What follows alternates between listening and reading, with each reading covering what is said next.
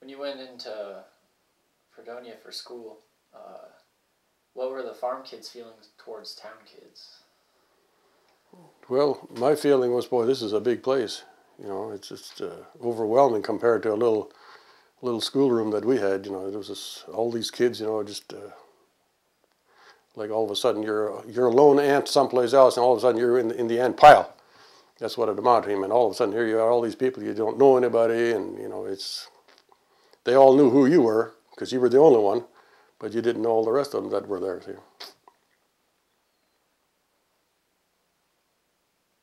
What was your family's attitude towards town people? I don't think they had any misgivings about anything like that that I can remember or ever heard. What were the positive aspects of growing up on a farm?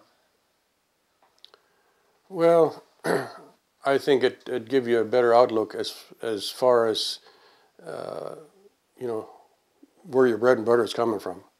Uh, you knew that uh, you needed a cow, you needed to milk that cow in order to get milk, whereas uh, uh, some of the ch- people uh, they have no concept of what what happens till that bottle of milk is eventually on your table. I recall an incident uh, many years back where somebody commented about milk. Uh, I think it had to do with milk prices. You know, and then one individual made a comment, hell, he's, we don't need the farmer. He said, we can buy our milk in town. Well, wake up, man. You know, where do you think that milk really comes from? You know, it's, uh, and you have other, other instances like that where people have no concept where, where something comes from. Were there any negative aspects about growing up on a farm? No, I don't think so. Were there any social classes that existed when you were growing up? Not that I'm aware of.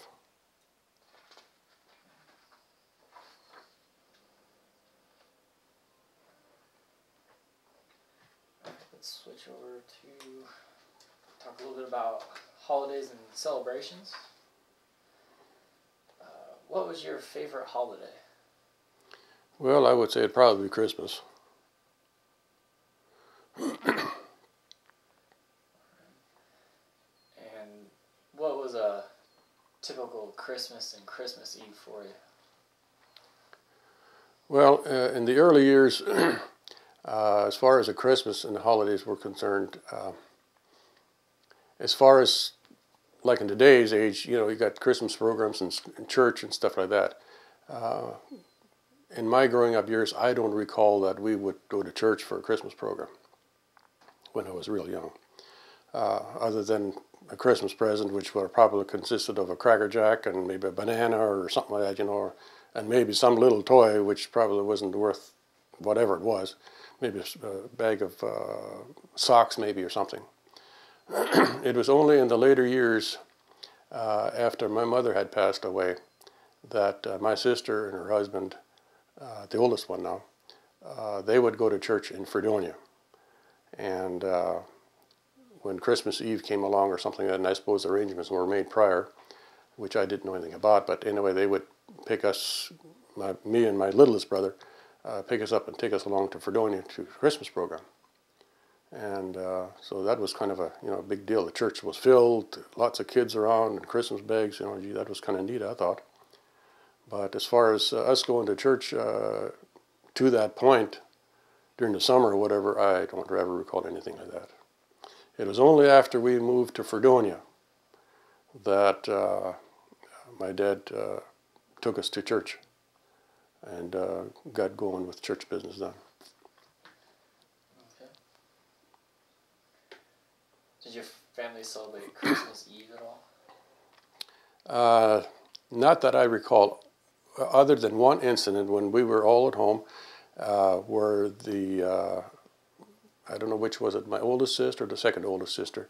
There was a Christmas tree in the in the living room, and it had these uh, candles on it, which represented today's lights, so to speak, and these were actual candles, and I don't know why it was, but for some reason, my dad sat close by the door which led into the into the uh, kitchen, and he had a five gallon pail of water there.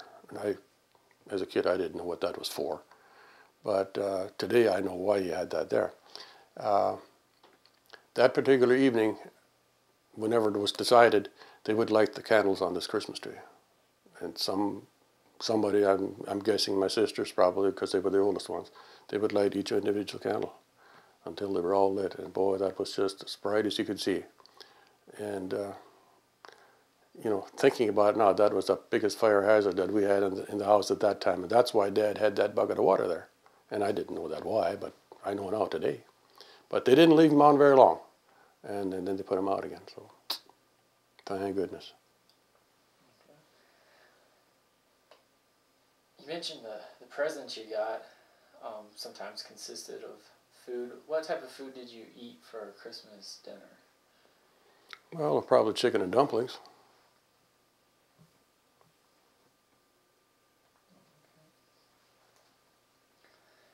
Did your family celebrate Easter? Uh, not very often that I recall. Uh, the, what I recall is uh, being told that Easter's coming, whatever days down the road that they said. Uh, you know, make sure you get yourself an Easter basket ready for the Easter rabbit. And uh, well, you know, what do you here? Well, here's a paper sack. So you cut the paper sack off the top down to, I don't know, I suppose it had about three or four inches or five inches from the bottom up. You cut it off there, and uh, if it was uh, the season was such that uh, uh, grass was growing, which was good at that time, so you go out to the pasture and you pick this green grass and you know enough enough grass for the Easter rabbits to lay his eggs in, and and uh, sometimes the crocuses had flowers, so you pick some of those and put them in there, and of course he had that sitting by the door, you know, that evening, and well, tomorrow morning the Easter rabbit should have been here. Well, a lot of times he was, so and you got some colored eggs and probably a cracker jack or candy cane or something, you know, whatever in those days, whatever was available. But as far as going to church or anything like that, I don't recall, you know, like Easter Sundays or Good Fridays or anything like that. Or you know, I don't recall any of that kind of stuff. Okay. and what type of food did you eat for Easter? Uh, probably noodles and prunes. You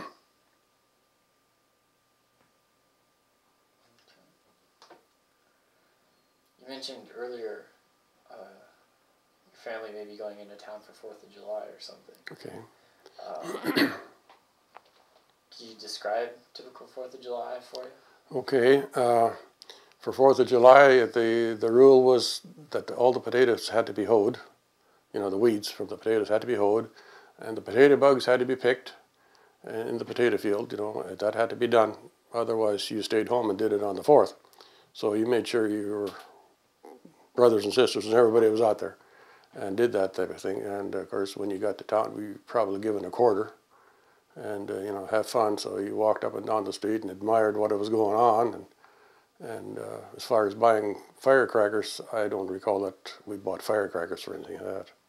Probably an ice cream cone or something like that. Uh, if it was uh, if it was a gackle, uh, everybody would gather at uh, at grandmother's place, and then they had there was lunch there, sandwiches and watermelon and whatever.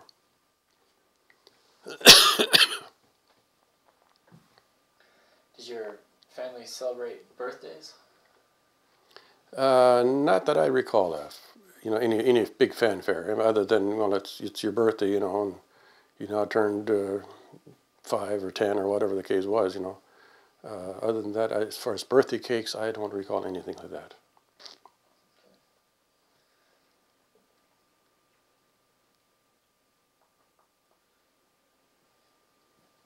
Can you tell us about any other holidays that your um, family celebrated during your childhood, such as Halloween or New Year? Well, Thanksgiving. We had Thanksgiving dinners. Uh, not any great big fanfares or anything like that, but there was a Thanksgiving dinner, turkey or something. Had that there. New Year's, uh, I don't recall that we had anything unusual going on at New Year's. One thing that uh, that I recall after Mother passed away, uh, as far as prayer is concerned, uh, prior to that, I don't recall anything like that either. But it was after mother passed away that my dad, apparently the Spirit moved him to uh, move into spiritual thoughts to have a prayer uh, in the morning, uh, an evening before you go to bed. We did. I do recall having having a table prayer for every you know noon and evening stuff like that. I remember that, and that was a German prayer, of course. And uh, but other than that, and as for reading the Bible, he would do do that quite regularly after Mom had passed away. Do you remember the German prayer? Oh gosh. Come out of Jesus, Agnes unser Geist. Uh, is part of it. Let's see, what else is the rest of it? There's, there's more to it yet. It's kind of like the Come Lord Jesus, be our guest, let us food us be blessed, but it's in German. Uh, I just don't recall right off the cuff how you say it in German, the last part of it. Well, whatever it is. Okay. Uh, speaking of religion, let's uh, turn to religion. Um,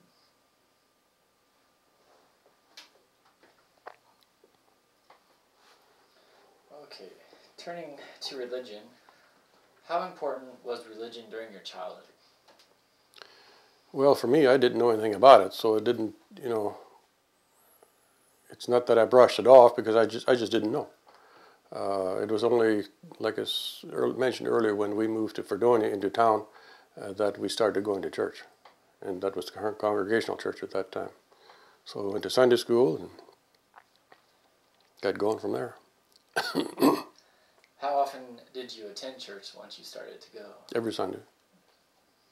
Yes, Sunday school, that was a, a main thing. Got to go to Sunday school. Could you tell us about the seating arrangements at the church? Uh, the ladies were sitting on the uh, uh, left side, and the men were on the right side.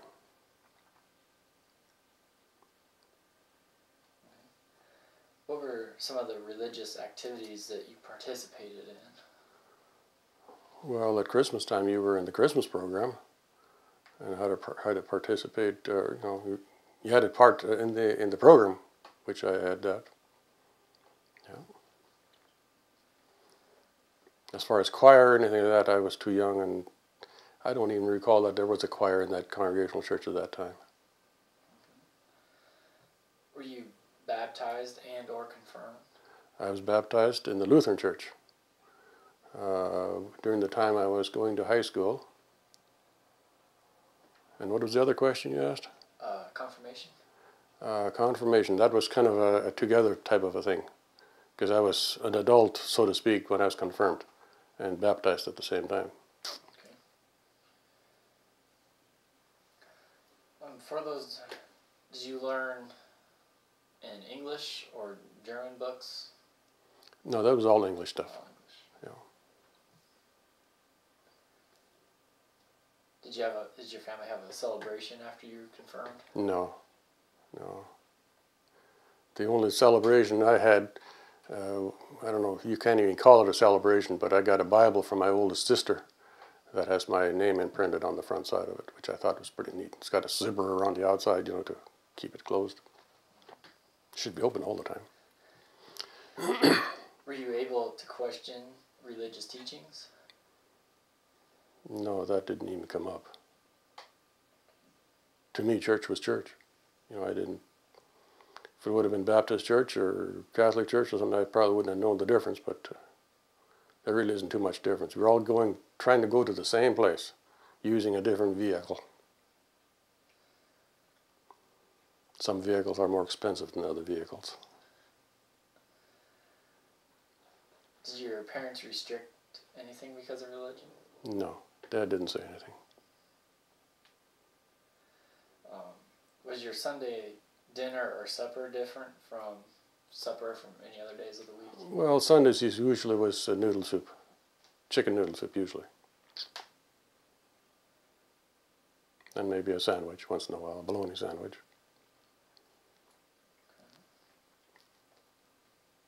Was the German language ever used in church?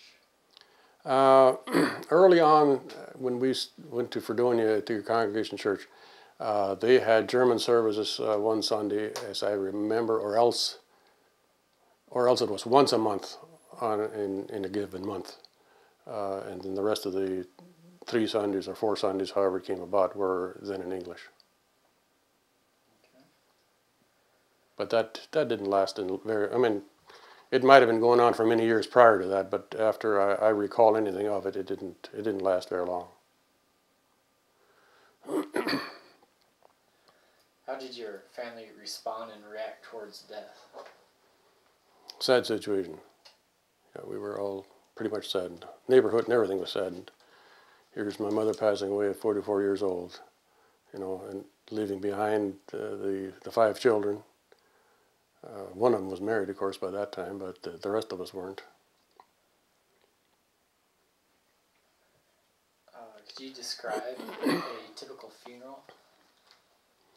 Well, uh, my mother's funeral, as an example, um, when uh, whoever it was that got the telegram from Rochester uh, to tell the family at home that uh, mom had passed away, uh, I don't know anymore who it was that drove from our place uh, to grandma's place to another aunt's place to another aunt's place. They drove. There was no telephone those days. They drove to spread the word that uh, sister had passed away, and uh, my mother, and uh, dad was going to accompany the body home by train.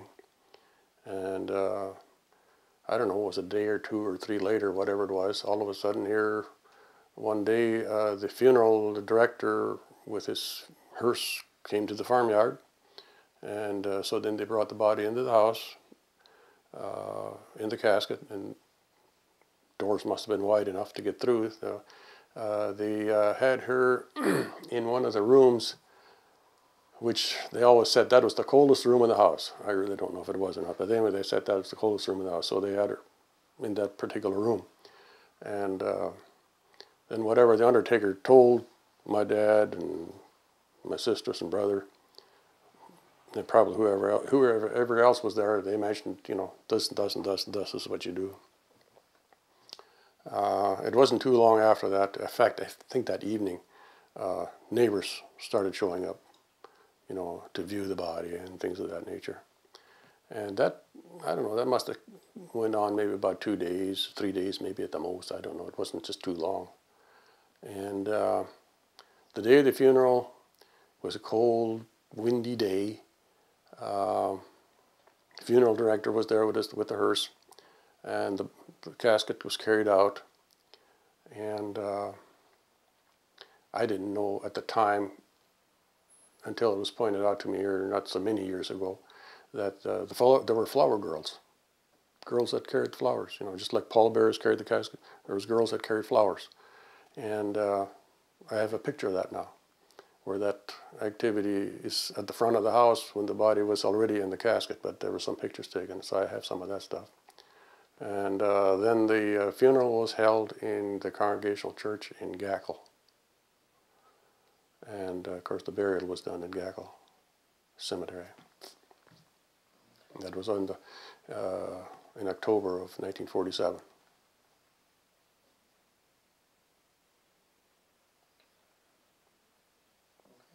Understand you have a couple hymn books you'd like to show us? Yeah, I got a few of them here.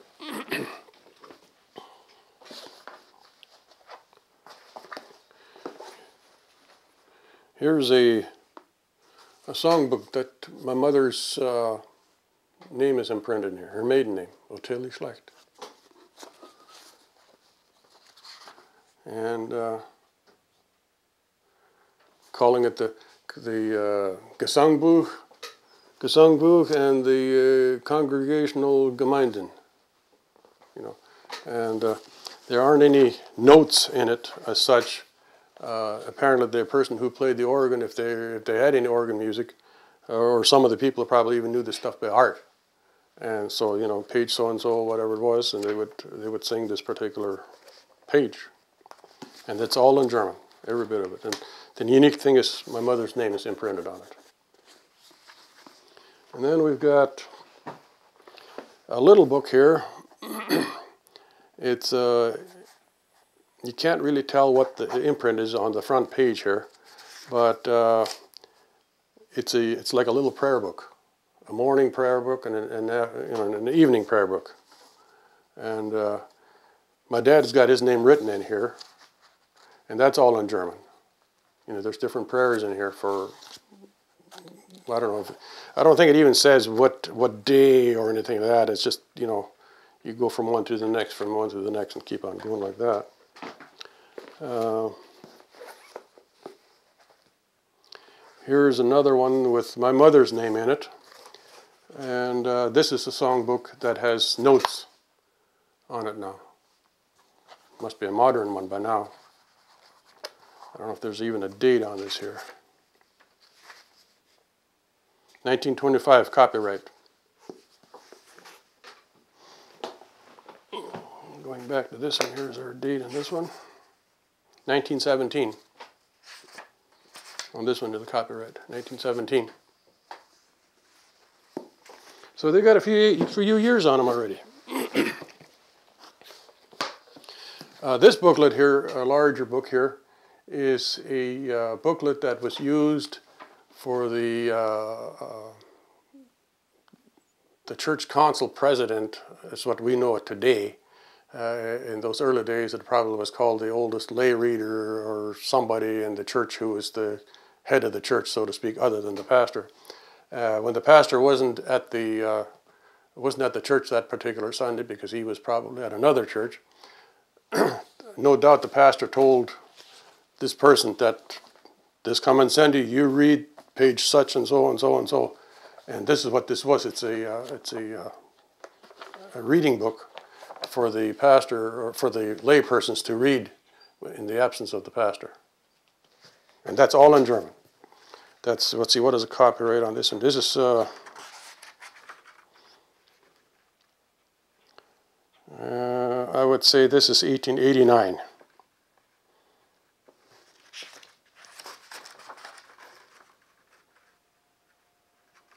It's in German, so I'm not sure exactly if that if this is what it reads copyright, but there's a date on it, 1889, on two different pages here.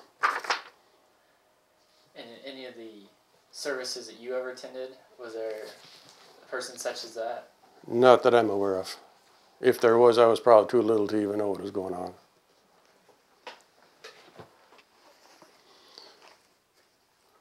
Uh, This copyright book here is 1906, and uh, there's no notes on this here, but I am suspecting it's probably a songbook as well. Yeah, right here is Gesangbuch. A songbook. Now my mother, and I'm sure this is my mother's, well maybe not, it might be my mother and my dad's writing together. Uh, they have written in here uh, when we kids were born, our names and stuff like that.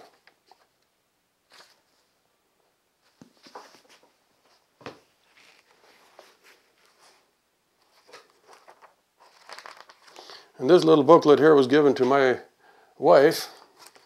It says Biblical History for School and Home by Dr. M. Rue.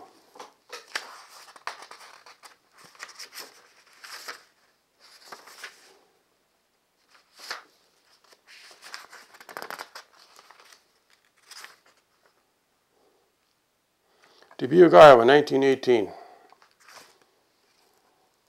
That's older than my wife is. And that's kind of like a storybook, but that's in English. Bible stories. Okay. All right. Let's uh, switch from a religion. Let me one more thing. Okay. My dad's Bible. Oh yes. Forgot about this one here.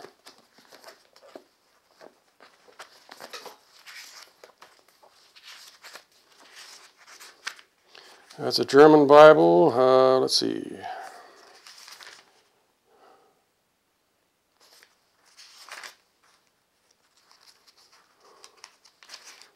Must be so old they don't have no date in it. But that's all in German too. And my dad, I remember my dad having this uh, on the kitchen table and reading from this here many, many times after mom had passed away. Many times. Yeah. Did he always have German language um, items for religion? Did he ever use English? Uh, I think he could read some English, but he was comfortable with German. Yeah, he was comfortable with German. I'm really surprised I don't see no date in this thing here.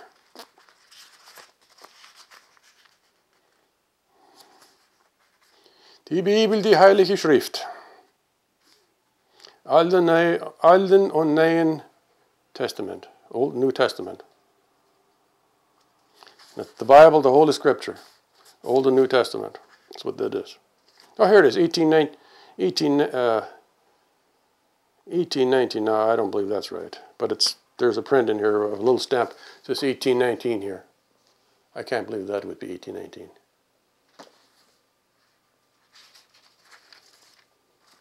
Well, whatever it is. Okay.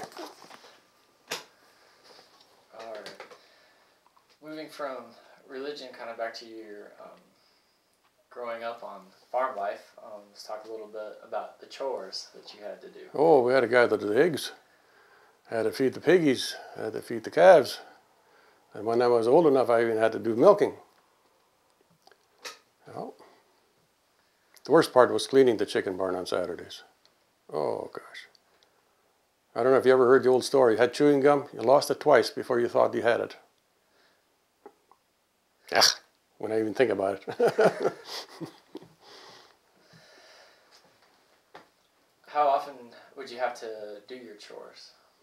Well, that was the morning and evening thing every day. You know, of course, the chickens don't lay eggs during the night, so, so you only gather the chicken uh, eggs in the evening.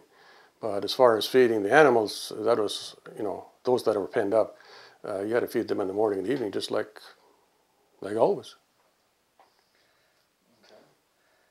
Did you have to do anything around the house, such as cooking, cleaning, or washing? No cooking, no uh, no cleaning. Well, cleaning, yeah, sweep the floors, uh, dusting, and things like that. And those things all occurred after Mom had passed away when we were growing up as little kids. You know, to you know, gotta clean this here, gotta wash that. You know, and uh, Dad usually usually did the washing and stuff like that. Sometimes my oldest sister would come to the house and she'd help along, but uh, yeah, my dad did most of it, cooked and everything. Did your family have a garden? Oh yes, we always had a large garden. And did you have any chores in the garden? Got to hoe the weeds. Oh, you bet. And sometimes there was a weed that you missed, and for some reason you didn't see it. But Dad saw it. He says, "How come you didn't mow, hoe that weed off? That's over there." Where? Over there. So you find, he pointed out to you pretty soon. Here was a weed that was a foot tall. You didn't hoe that sucker off two weeks earlier. What type of vegetables and fruits did you grow in your garden? Well, carrots, potatoes, cucumbers, cabbages, lettuce, radishes, whatever normal normal uh, vegetable things are that can be grown. Beets, tomatoes. Before your mother passed away, did your father help with the household tasks? Not that I'm aware of. Not that I'm aware of. See, my, my two older sisters uh, were old enough already where they did all that kind of thing too.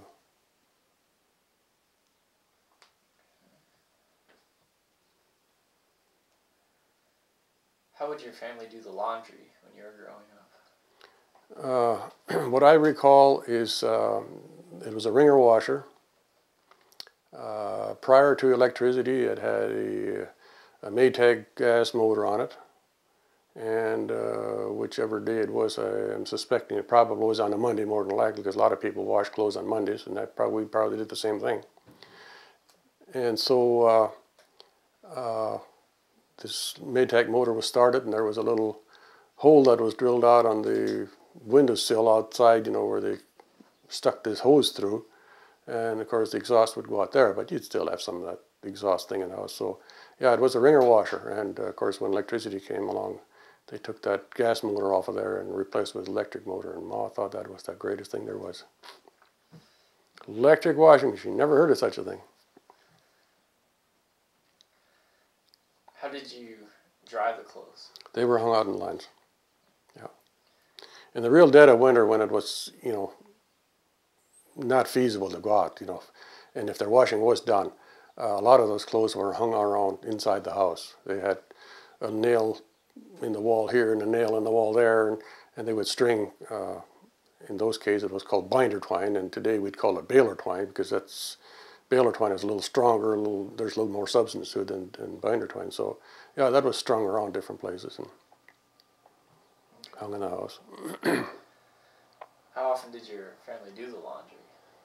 Oh, I'm sure probably once a week.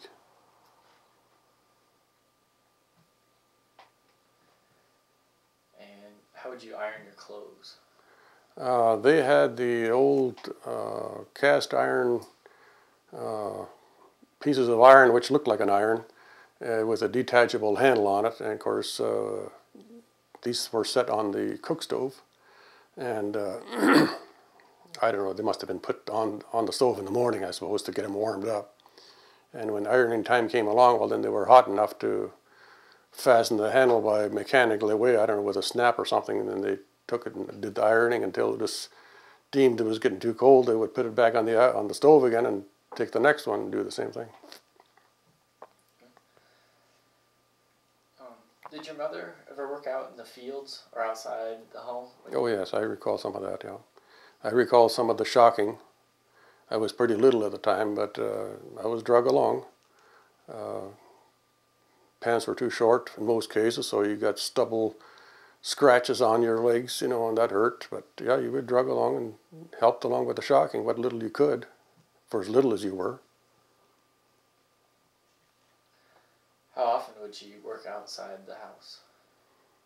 Well, I'm sure during milking time in the morning and evening, that was a normal thing.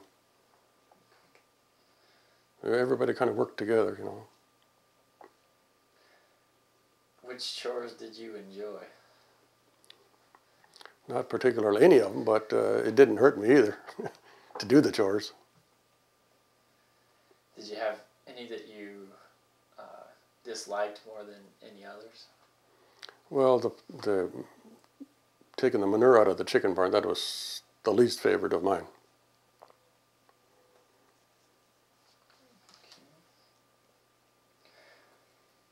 You mentioned earlier you worked at uh, one of your sisters. My oldest sister. Yeah. Um, were you ever hired out to work at a neighbor's or any other relatives? No, no. I just uh, was working for them. Um, you mentioned earlier having the garden and all the food that you grew in there. hmm What were some of your favorite foods? Oh, carrots. I like them. Peas. Uh, lettuce. I like lettuce when, uh, especially when mother made chicken and dumplings. Uh, I like that lettuce and cream mixture that she put together with those those little onion tops that were in there and stuff like that. That was really good. little vinegar. Still like that today.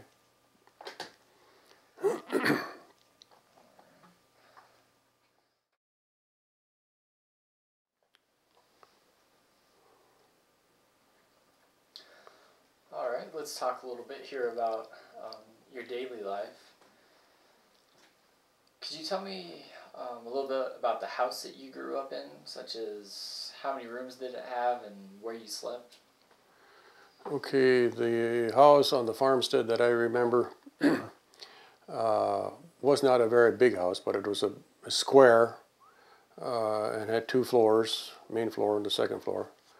Uh, the main floor consisted of the kitchen and the living room and uh, uh, two bedrooms. Uh, the bedrooms were not like a square bedroom normally would probably be. They were kind of narrow and long, but they were wide enough for a bed to be in, and maybe about two feet, three feet between the bed and the walls that you could walk down to the other end. They were both like that. Uh, the upstairs had uh, two bedrooms, and uh, because of the design of the roof, there was a third room which was used as a junk room, kind of. Uh, I don't ever recall that there was ever a bed in there, but the other two rooms had beds in them, where the my sisters and my brother and some of us were in. And the heating was such in the wintertime, if you had a glass of water upstairs, chances are it was probably frozen in the morning. So you made sure you used them. Feather tick's pretty good. What was your furniture like in the house? Well, it's like the old furniture that you see at the antique stores today. You know, the old uh, uh, chairs with the rounded tops on them, and and uh, they were wood. No, nothing soft about them. Uh, the table was the table that uh, uh, had wheels under it, and as I recall, you could make it into a larger, longer table with added pieces in between in the uh, middle. Uh, the living room, there was no such a thing as a Davenport. Uh, they were just uh, chairs. Uh, some of the chairs probably had a little padding on it. Uh, one rocking chair, I recall. there was also a, a stove in there, which was a coal stove, just a, like a space heater kind of a thing. The kitchen had a regular coal kitchen range in it. Uh, bedrooms, of course, were the old metal tube type uh, bed frames. No box springs or anything like that. It was, it was a spring and a mattress on top of it. That's about it. Where did you get your coal from? Uh, my dad, he got the coal from Fredonia, uh, which was the local elevator there. Uh, and of course they handled grains and coals and that type of thing at those days. And my dad was uh, one that he always wanted those little, he, they called them briquettes, which was a little pressed coal, uh, or like look like little tiny pillows, uh, like about, oh I don't know, about five inches square or something like that, you know, and maybe about three or four inches thick. And he liked those rather than those old, the, instead of the lignite which he says they always create too many clinkers in there, you know, so he didn't like that stuff. So he always wanted those. And I recall in the fall of the year, uh, that was before before they bought a truck, uh, he would hitch this uh, trailer onto the car, and they would uh, fill this. Uh, it was a 50 bushel box, if you put grain in it, uh, box, and they took went to town. They filled that maybe about half of coal now, I don't know, was it because of the weight of it or whatever that, I don't know.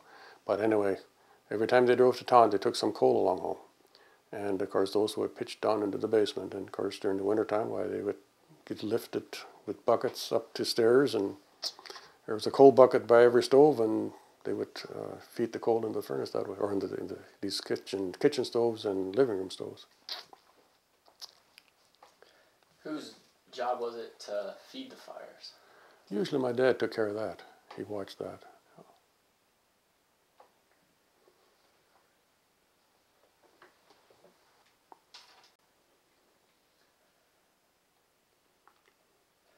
How often would you, would your family entertain guests in your home? Not too often that I recall. Not too often. Um, do you remember any instances when people were entertained? Yes. I remember an incident during the winter, and I don't know what month it might have been, but uh, we had an ice cream freezer, and I don't know how many people were there, not too many, I don't suppose. But uh, for some reason or other, this old ice cream freezer uh, got filled too much with salt and water and whatever, and it leaked into the ice cream. And, well, ice cream's done. Everybody you know, had a dish and boy, they pitched an ice cream. Boy, this ice cream tastes funny. Did you put sugar in? Boy, it tastes salty. And they finally found out that it had too much ice in it. And I remember that instance. So yeah, that was kind of a joke for quite a while that I recall. Went to the Rudolph Street to eat salty ice cream.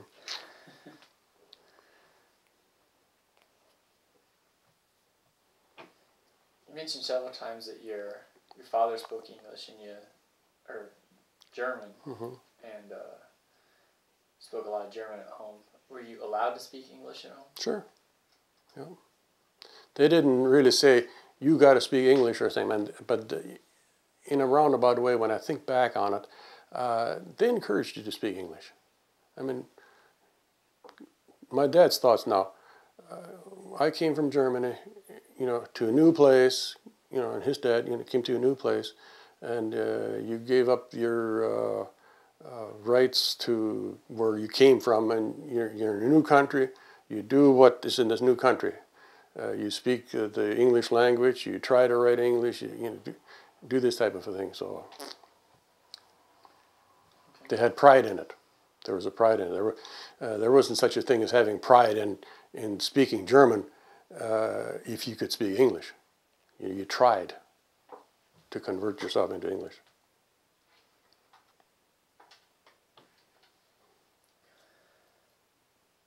Where did you go to the bathroom at your old house? Outside. Outside. So you, you know, evening, evening time came along, if you thought you maybe had an urge, you went before you went to bed outside. You bet. Could you describe the outhouse for us?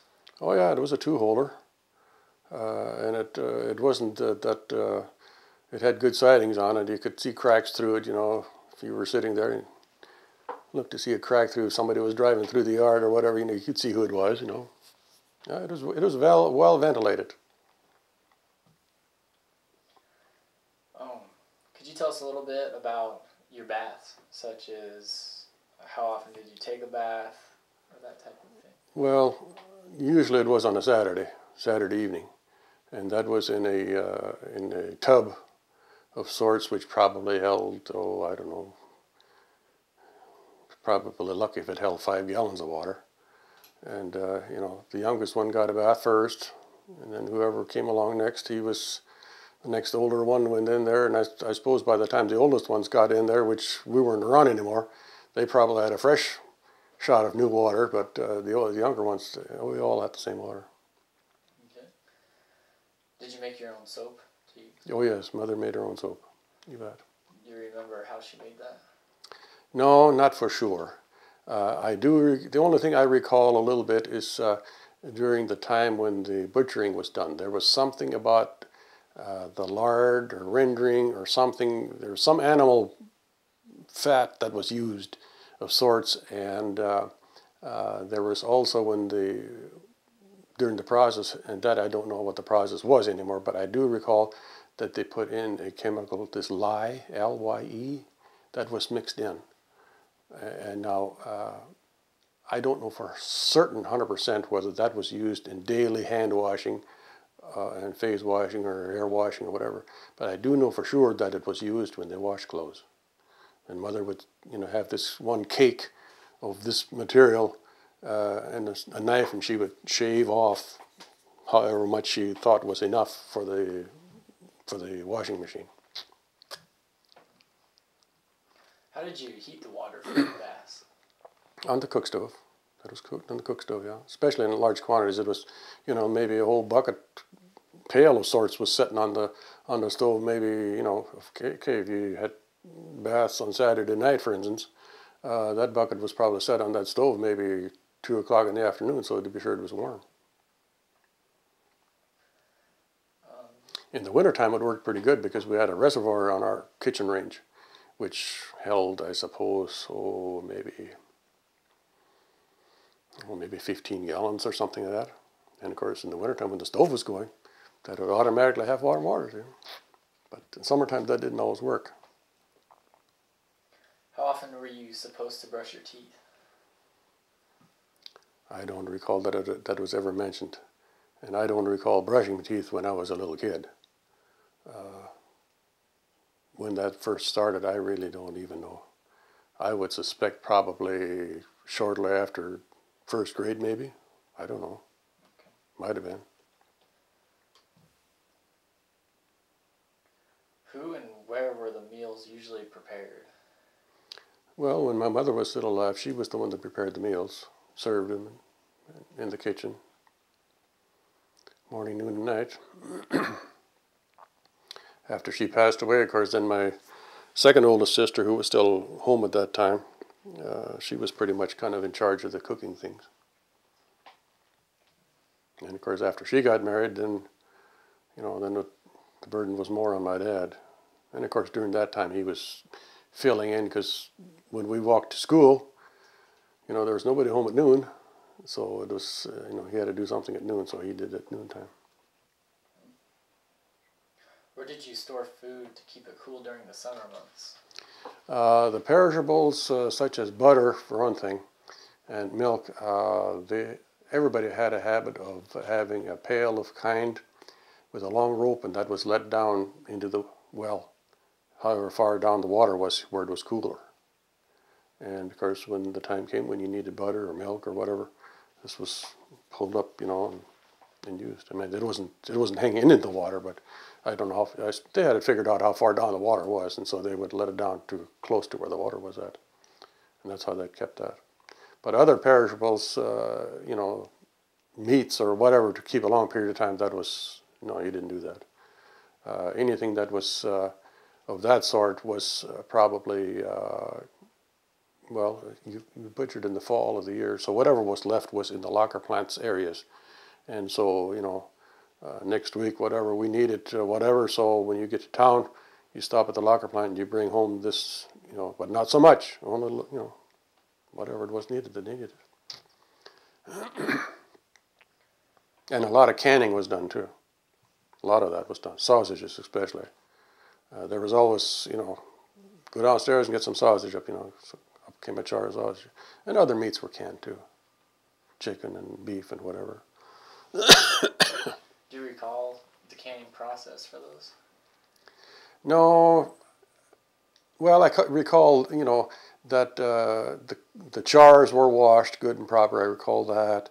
Uh, whatever meats were put in, uh, if there was any seasoning put in that, I don't recall uh, anything like that. And then they were they were put in uh, these glasses, uh, and I don't know whether the, whether, whether the lids were turned tight or not. My suspicion is, is, is they probably were not turned uh, just snug a little bit because you have to have the expansion stuff like that. See? So when the water was heated for these six jars of, of uh, whatever meats that were in, they heated them till I suppose they knew when the meat was cooked. And uh, when that point in time came, when the jars were taken out, and then they turned real tight. See, to hold that vacuum. So then when they cooled off, they really sucked themselves tight. And of course, then it was canned. So when it was cool, they took it downstairs. And the vegetables were done that way too, beets. Uh, cucumbers not. Those were, they had a special brine, salt brine, and all kinds of different spices were added, and then hot water was poured on them. And when that was done, then they cranked the lids on tight. Okay. And some worked, some didn't, you know. How would your family have their meals? Um, where would you sit, and did you have assigned seats? Uh, most of the time, uh, the room that the kitchen table was in, uh, it wasn't a very, very big room, but uh, and chairs were limited, so there was a bench that held uh, usually about three of us, and we were sitting on the side of the table which was the longest. So the bench people were sitting there, myself, my brother, and usually my little brother, and then the others were my dad and my mother and uh, well my sister. The other one had been married already, but the one sister was home. They sat at the other sides. Okay. what types of food did your family usually eat? Well, usually the potatoes and breads and, and sausage or meats or something like that, chicken. Uh, dumplings probably, and chicken and dumplings, that kind of a thing. Breakfast, uh, there wasn't such a thing as toast. Uh, later on, and I don't know how my sister did it. I know they put uh, they put bread into the oven a length of period of time, and it got brown, and apparently that was supposed to be toast, which was all right, know. What were some of your favorite meals? Oh, chicken and dumplings.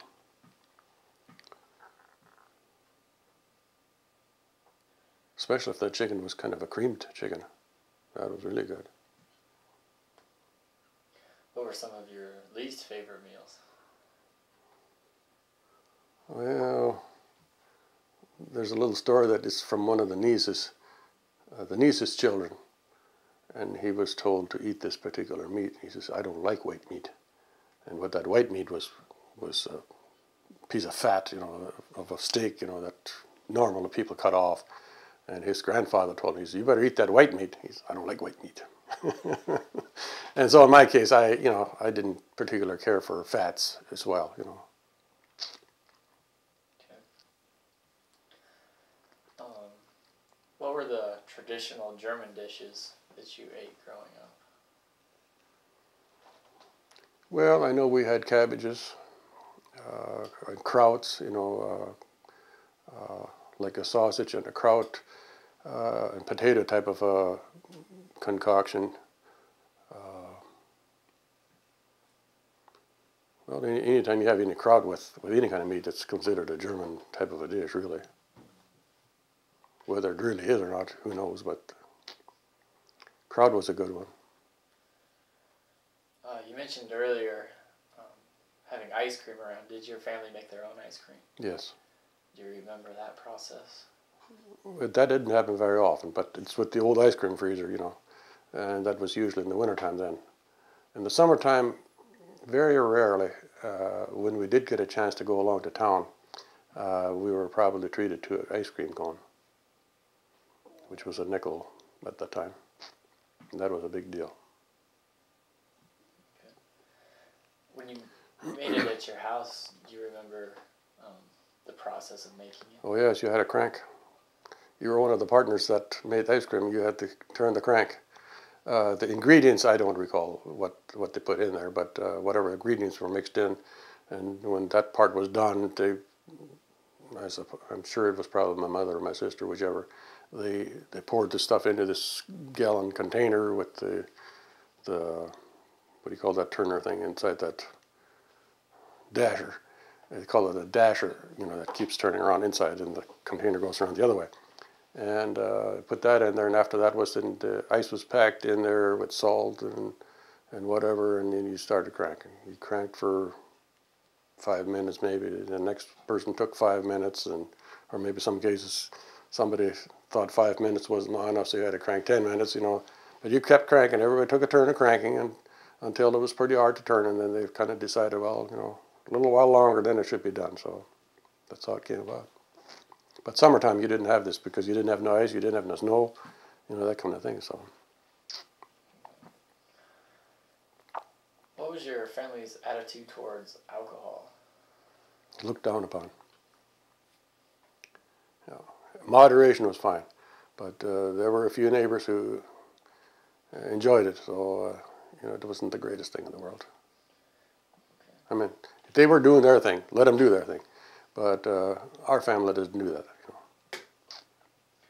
Did your family make their own uh, root beer or regular beer? Or Yes. wa- Yep. Mother did. She made wines. She made uh, beers and root beers and all that kind of stuff. But it, when you had some of that, it was very limited. Maybe on a Sunday dinner, it was probably just a little jigger. Uh, or when, when there was when there was company, everybody probably got a little jigger. But after that, it was put away and it stayed away until there might have been a few guests or something. Do you remember um, how she made any of those things? No, I don't. Let's uh, talk a little bit about clothing. What type of clothes were common when you were growing up? Uh, we had bib overhauls and uh, the those uh, grayish looking uh, shirts that matched the, the overalls, of course. Uh, shoes were the uh, tie shoes with what about oh I'd say maybe about five five eyelets on the on each side with strings you know that you tied them something like that. In the summertime, you didn't wear socks; you just wore shoes. And wintertime came along, then you got got to wear socks. Were these clothes um, store bought or were they made? No, they were store bought. Yeah. Never had any t-shirts or shorts. It was shirt and pants.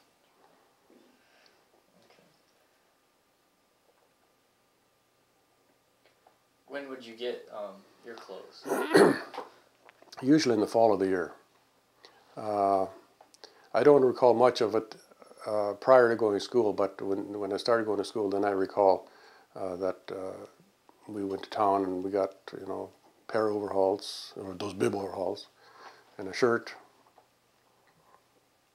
Shoes, probably not. If they didn't have any holes in, you didn't get any shoes. But you got some socks that you only wore if needed when it was cold. Did you ever have to wear hand me downs? Oh yes, did that too. Yep. One hand me down that I remember is, you know, were pants that uh, were too short, and uh, going out into the field for shocking, and here these stubbles would picker your legs, and that was painful.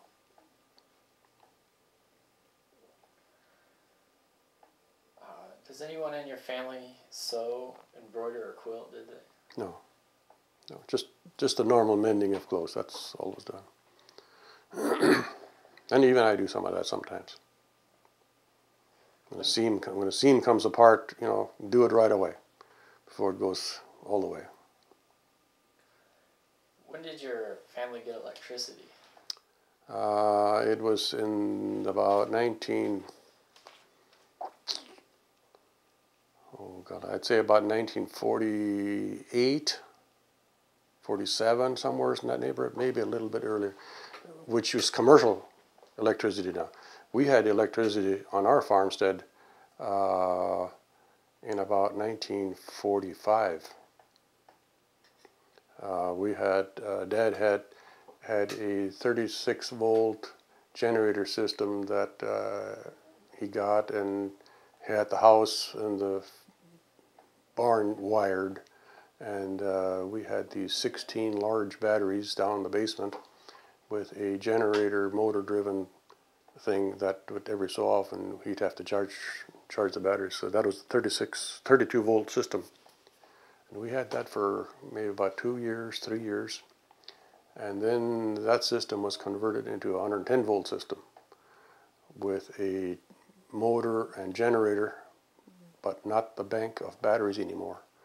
Uh, when you turned on the light switch, that motor electrically was activated, which was out in the garage. It was activated, and uh, the motor would start up and provide you electricity.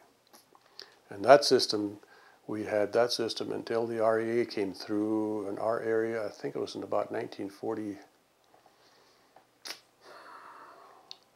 40, 48 or 49, somewhere in that neighborhood, is when the REA came through. And then, of course, that time the generator system was put on the back burner. Was the generator system before um, commercial electricity, was that common? Or were you kind of an exception uh, to the area? It was not very common. There were a few other individuals around who had that. Some of them had the wind charger type of a thing, uh, which was also used to charge the batteries, which was a 32 volt system, I think. Uh, there were, uh, oh, I don't know, in our immediate area, there was probably about three of them or something that had that kind of a system. As far as the motor generator thing, uh, there were probably also maybe about two or three of them in the area that had that. In fact, I wrote a little article uh, a few years back, which is on NDSU's uh, history stuff. There's an article in there about that. A friend of mine who grew up in the Streeter area now lives in Redland, California, uh, asked me some time back that he had a call from somebody, and he didn't say who it was. He probably knew, but he didn't say asked him to write what he remembers the transition from the gas lanterns to electricity. And he told me, he says, why don't you write something? You know, about that period of time. What I remember. I said, oh God, I, said, I don't remember too much other than a few things. He said, you write them down, he says, and I'll write down what I remember and we'll exchange. And maybe between the two of us, we'll remember a few more things after that. So we did that for know, a couple of months. We did that, and every time I thought of something else, and he did too. And so when we were at the point where we thought, can't remember anything more, so we submitted it. And little did I know that it's going to wind up at NDSU, the Germans from Russia Heritage Site. So it's on there. Electricity. Uh, I think it's Electricity in Fredonia by my name, Orion Rudolph, and his is Electricity in Streeter by Don Huffman. So if you're interested in that, why, that's a site to go look. There's there, there we talk about that electricity business. You could, could you share with us a little bit about how electricity changed your life?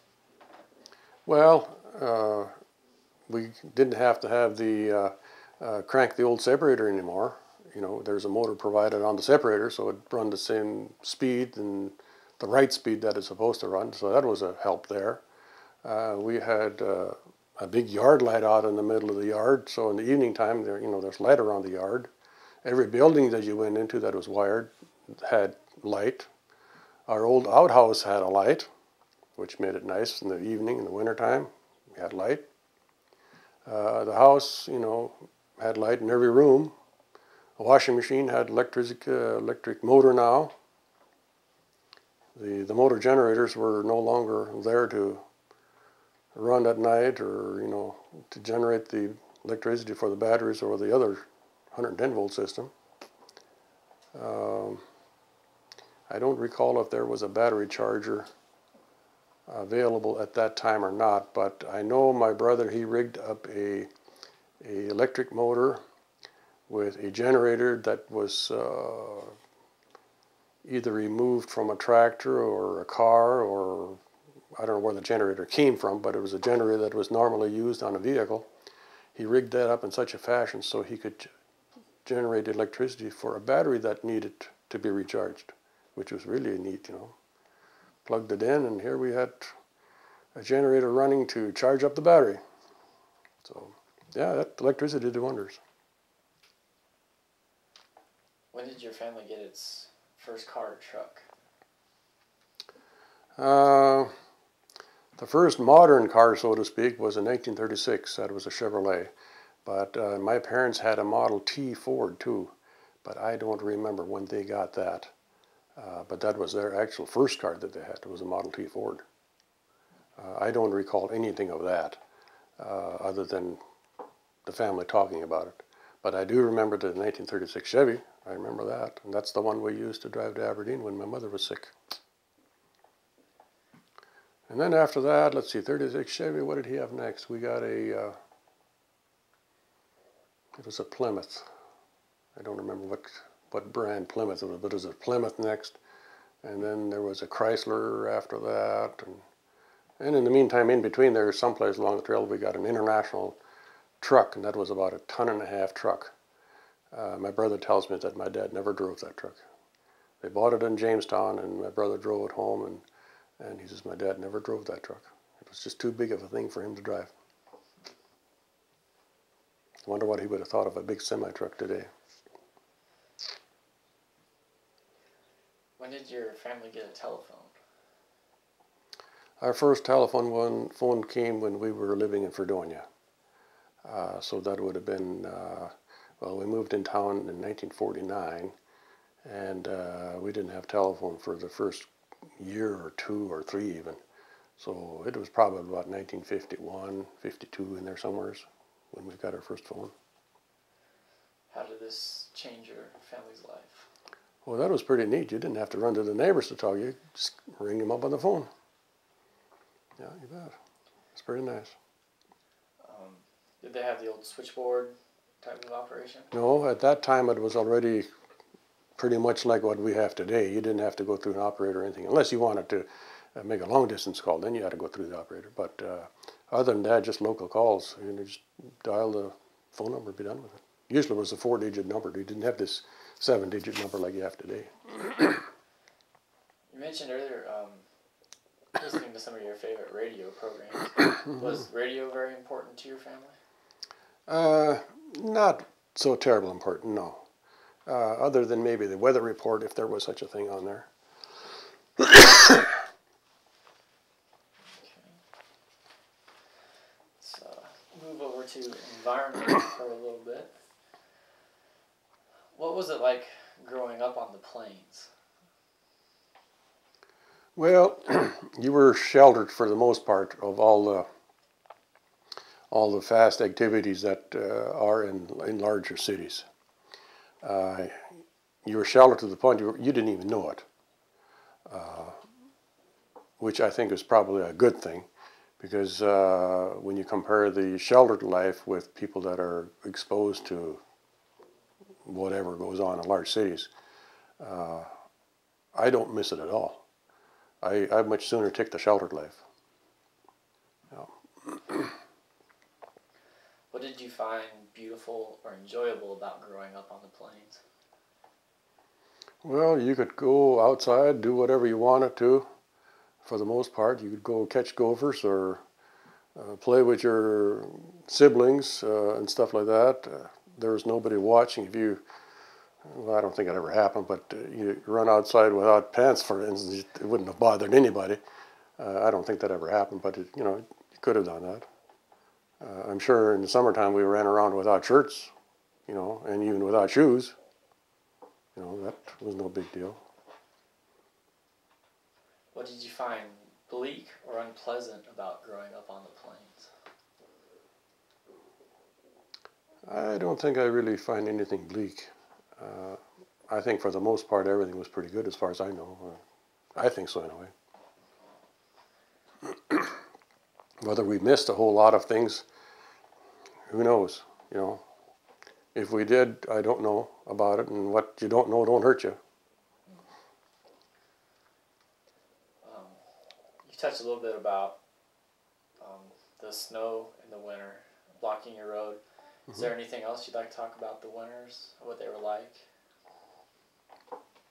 Well, we did have uh, days once in a while, just like we have today's days, when you have a two or three day blizzard. You have that kind of a thing, and we had those in those days. Um, usually, when uh, when when there was a day coming along like that, I don't know how Dad knew, but he said, uh, you know, I've got a feeling, and according to the weather, the way it sounds, he says, I think in a few days we're going to have a blizzard. We better get the hay box going and get some hay, uh, you know, additional hay for the hay mound and stuff like that, which they did. My brother and him, my dad, they they would haul home hay from a nearby haystack, which was probably a quarter of a mile away or maybe more, I don't know. And uh, sure enough, uh, maybe the day before, when they were still hauling some extra hay home just uh, for insurance purposes, uh, a very quiet day, sunny, but it was quiet and not really cold, cold, but it was cold. And uh, when they were unloading this hay, my dad says, "Listen," he says, "you can hear the steam train, uh, stream whistle blowing in Fredonia, which is about eight miles away. That's how quiet it was, and you could hear the train because there were two trains in the morning and in the afternoon, and it was steam, steam whistle. You could hear that." He says, "Rest assured," he says, "there's going to be bad weather coming." And it was a day or two later, blizzard and they all get out. So I mean, there was different methods that people used in those days, and I don't know how accurate they were, but uh, some people they they were right on it, you know. Then I recall one incident. This old one old fellow that uh, when the roads were open, uh, and we walk into school that one mile. If the direction was the right way, in the morning it didn't happen very often, but in the evening it happened when you were walking home. He would come along. He had an old truck. Uh, he took the duals off, driving along, and uh, he would always stop and give you a ride home. And a lot of times, you know, we could tell he had been liquored up because you could smell it. We knew that much already. Well, anyway, during the winter one time, he came going to town, and the roads were blocked that particular mile where we always walked to school. And uh, so the trail was, uh, when they came from the westerly direction, they drove into our yard, our gated yard there, were off the road. And uh, then they would start kitty corner across the pastures and stuff like that. Well, this particular time there was a bunch of snow that was bothersome there where they drive in. And it was bothersome enough to the point where he got stuck. And my brother went down to help shovel. It was in the morning. And while they were shoveling, trying to get out, you know, and and uh, this old man, he was unhappy. Of course, I called him old man. He wasn't probably, he was probably 30 years old or something at that time, 40 maybe. Uh, my brother made a suggestion. He says, "Oh, he says, you know, he says we should just burn this snow."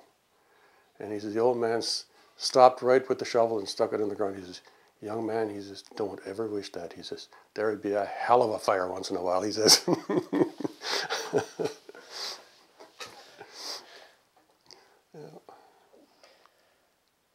So that's some of the snow stories. Okay. Could you describe a typical fall for us? Uh, yeah, there was the uh, the fall was the the harvesting of the grains, the bindering. Uh, the grains were too short, and there was the headering, and of course after that process, well then, you know, when the threshing crew came by, the threshing business was going on. Everybody was involved with uh, with the threshing, the hauling the bundles in, and the uh, the housewives uh, and whoever was capable of helping, they were to prepare the meals for the usually the supper meal the dinners were usually hauled out to the farmers uh, and stuff like that. So not very often that there was any grain hauled to town. It was all stored at home. What was what were your summers typically like? Well, there was haymaking time. Um, me personally, I didn't get involved because I was a little bit too young. Uh, there was haymaking time when uh, my dad he would uh, cut hay with the horses, an old horse mower, which was only probably about a seven foot cutter bar, and uh, he would mow, and then of course the the raking of the hay into windrows, and then they would uh, push these windrows together and put them on haystacks and stuff like that. But uh, I was a little bit too young to get involved in that. The only little teeny bit I got involved in was was the hay raking, and that was not much at all, maybe a couple of days, uh, because I was just I was just literally too young to uh, sit on that hay dump rake. And uh, I thought I could really do it because they says, you know, all you have to do is get up. When you get to the place where the rest of the hay is, you just press this handle down and it'll dump, and you keep going well, I think I can do that. So I, I got on this dump rig and get up. We were going on, pretty soon got to this place where it's, where the dumper was supposed to dump. I couldn't, I didn't have enough power. I, I was too weight, too, too lightweight. I couldn't get that thing down. So Purdy said, oh, you know, by that time I had drug the hay 10, 15 feet further than it should have been. Well, then after the horses stopped, I kept trying, and then it went pretty easy. Well, how come? You know, okay, it dumped right there, and I kept on going. So when I got to the next one, I still couldn't press it. So I, that bunch again, I pulled 10, 15 feet further than I should have. got the horses to stop, and then I pressed it, and it, I thought, oh, pretty soon I got a little smarter. When I got to the next one, right where it's supposed to be dumped, I told the horses to stop. I pressed this thing down, everything worked fine. Well, so now I got it figured out, I thought. And uh, well, coming around the next way, doing the same thing, you know, had the horses stop every time, and I got the thing in. But because I wasn't strong enough. Well, this I think this was during noon hour, because everybody was left, and I was out in the field with the two horses and dump rig, and uh, I was. It was kind of a lucky thing because I was real close by a by the road in our farmstead where we were at, and uh, all of a sudden I get to looking down there, and one of these these uh, things that is hitched from the horse's harness to the to the hay rake, two from each horse the inside one was unhitched. And of course, that was pulling it sideways. And there was no way that I was going to get down between those horses to hitch that thing on there. So, well, then I just, you know, I sat on the hay rake there and just waited for something. You know, figured there should be coming from the homestead pretty soon. Well, as luck would have it, there was a lady that came driving along, and the road was not very far away, you know. And I waved and waved, and this lady stopped. And she hollered out in German, Was los? What's wrong? And I said, This strap is unhitched here from. She said, Well, hitch it on. Uh uh, I'm not going to go in there. And so she gets out of her car and she walks over there to, and she walks behind that horse and reaches around back there and grabs this thing and hitches it on again, just like as if nothing ever happened. But there was no way that I was going to go behind those horses' legs and do that. And and I've never been a really a horse person, and I don't know because my older brother he would he would ride horses, uh, but not I. In our barn where my dad had kept the two draft horses for work horses, when you pushed the door open, the first thing you saw was this big long leg standing there, you know. And if that door would have gone the other direction, then I could have gone in here and I could have seen those horses down the other end, which would have been fine. But those big legs always scared me. And as maybe as a child growing up, I just didn't have too much love for horses. So as a result, I'm not much of a horse person. Because I was always visualizing walking that barn and this one horse would just wait for me and give me a good kick. I'd have probably flown a half a mile, you know, but that's how it is. So that's the only experience I had of working with horses on the farm. That that little bit of noon hour thing there, which was not my bag. Okay. Could you describe a typical spring for you? Uh, I really didn't have to do anything uh, farm work uh, until, oh gosh, I might have been maybe about nine years old or eight or something like that. Uh, coming home from school one afternoon, uh, walking home, here was standing a brand new shiny E Model A tractor with the two bottom plow. And I thought that was really neat. A cute tractor, you know. I mean, was, to me it was a big tractor, but it was a cute little tractor. And that tractor, I was able to, uh, I was, you know, asked to help work with the field work. In the spring of the year, of course, when school was on, I didn't, but and maybe in the evening or, or on a Saturday or something, I got a chance to plow with that tractor. And I thought that was really great. Until the first rock came along and disconnected the plow. Now what? Well, I managed to get it backed up to the place where it was at, but then I wasn't strong enough to lift that hitch to hook it onto the thing again. So there I was until my brother, who was driving the other tractor, came around the field, and here I was, you know. So I walked up there and hitched it on. He said, "Okay, go ahead, go." I put it in gear and took off again. Everything worked fine. So that's that was my first experience. All right. After describing all those, what was your favorite season? Oh gosh, gosh. They were all good. They were all pretty good, I would say. I didn't really, you know, at the time you, you when you're little like that, you don't realize the growing of the grasses and the greens and and then uh, the actual cutting the hays and, and putting it up in, in piles, you know, uh, sure, that's all work that needs to be done. But as far as really appreciating it when you're a little kid, you know, yeah, it's it's work that needs to be done. Whether you're appreciating it or not, in a sense, I, I don't, I don't know. It, I, I enjoyed all of them, I guess you could say.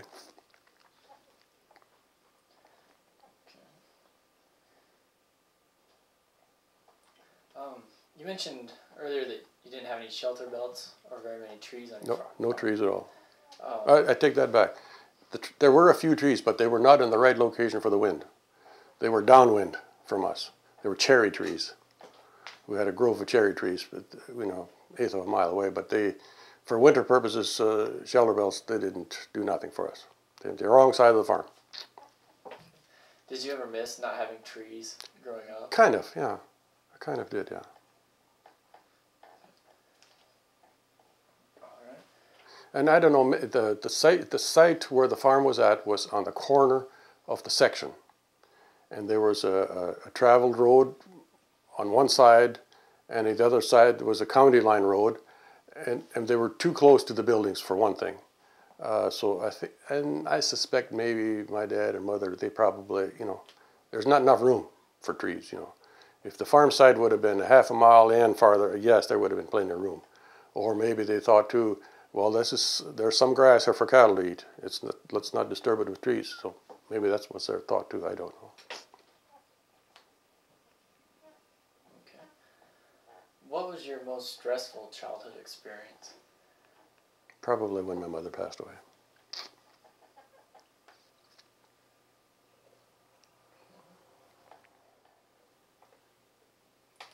What is your happiest childhood memory?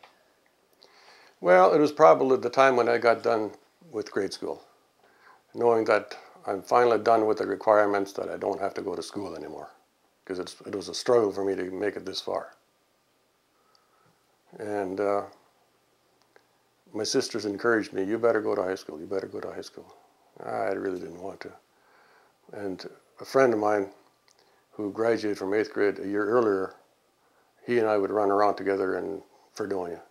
And periodically, the question came up, you know, between the two of us, and I suppose his brothers were encouraging him to go to high school as well, because his buddy Orion, he's done a high school, done a grade school. The two of you guys could go together.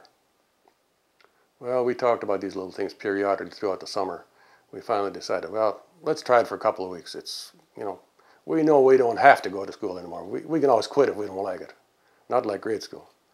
So, okay, we went a couple of weeks. Well, it wasn't just so too bad. It was a couple of more weeks. Pretty soon it was a couple of more months. Next thing you know it, we were through the freshman year. Well, you know, should we go another? Well, this wasn't so bad.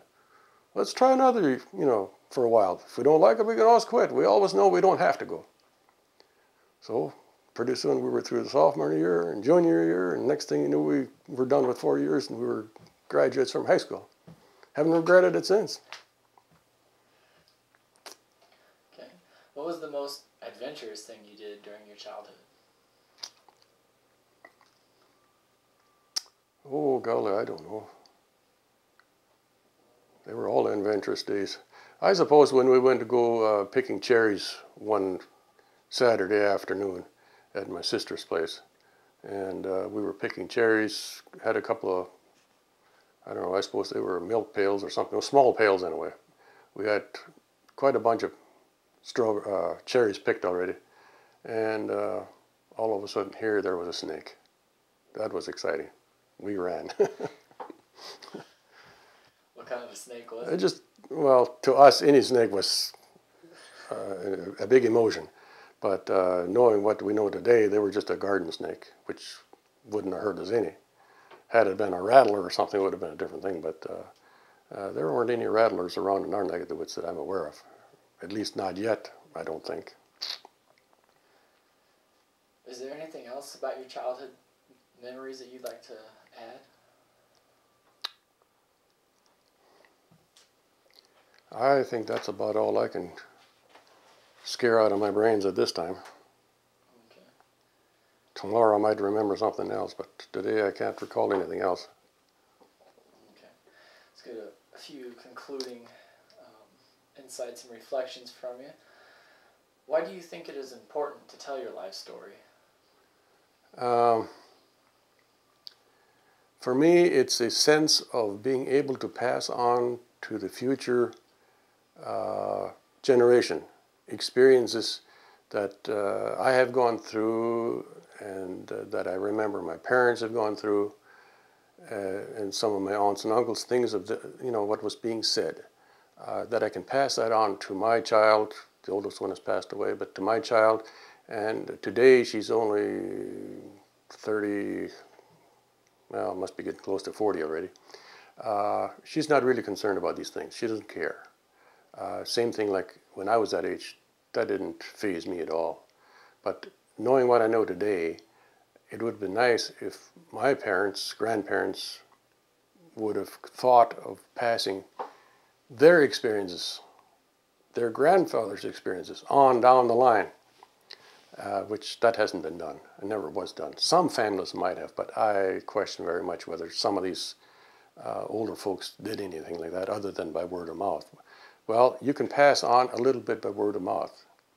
If I tell you uh, my experiences uh, for an hour, and you think, boy, I'm going to write this down when I get home. When you get home, you're probably going to remember maybe 5% of it, if that much. So it, it needs to be written down uh, to be able to pass on to your next of kin, whatever. Uh, in my case, I have written somewhere around 16 or 20 some pages, which I have uh, put down just of our family, things that we remember. And I know there is a lot more things that we could write, but when you sit at the computer, all of a sudden your mind draws a blank, and then, well, you might as well walk away from it.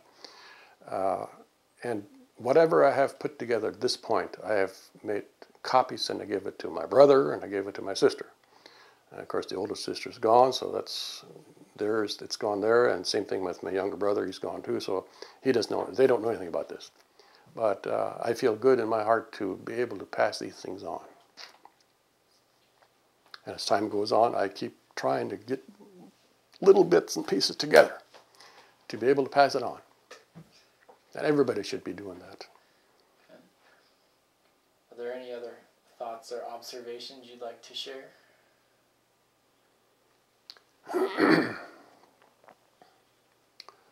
Thoughts and observations. Well, I suppose in my particular case, uh, my thoughts uh, go back again to preserving your family histories as much as you can, uh, gather and put together. Uh, outside of the family, uh, I got myself involved, uh, which I didn't even think that I was ever going to do, but I'm glad I did, was to translate the German church record books for the Lutheran church that I go to. Uh, most of those church record books had at least 90 to 95 percent the old German script. And knowing what I know today, uh, there are so few people around that are readily available to you that can translate that stuff into English for you. Uh, chances are there might be some professional people who do these kind of things. They're going to charge you an arm and a leg to get that stuff done. Uh, fortunately, it didn't cost me all that much to get uh, 17 church record books converted in English, uh, mainly because there was a lady that I got acquainted with, and her dad was a pastor who wrote German script, and uh, she knows this German script real well, and she helped me with every one of these books. So I feel good about getting this stuff done and her encouragement from one book to the next to keep on going and that she would help translate.